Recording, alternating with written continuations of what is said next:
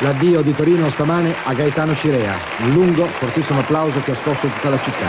Non era soltanto il saluto ad un grande ex campione del mondo calcistico, vittima in Polonia domenica scorsa di un incidente stradale, ma il riconoscimento più spontaneo da parte di 20.000 persone ad un ragazzo esemplare che ha praticato sport, vincendo tutto quanto c'era da vincere, senza mai perdere la sua dimensione umana, senza mai ergersi, pur essendo la protagonista.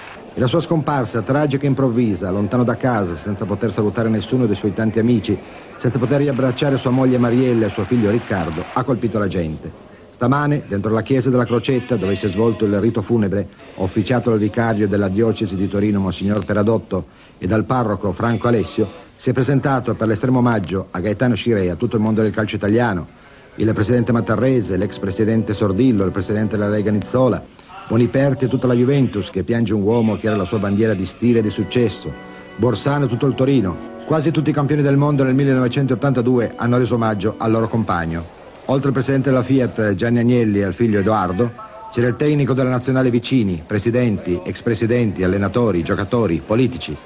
Ma fuori, ad ascoltare la messa attraverso l'altoparlante, non c'erano soltanto i tifosi della Juventus o semplici sportivi.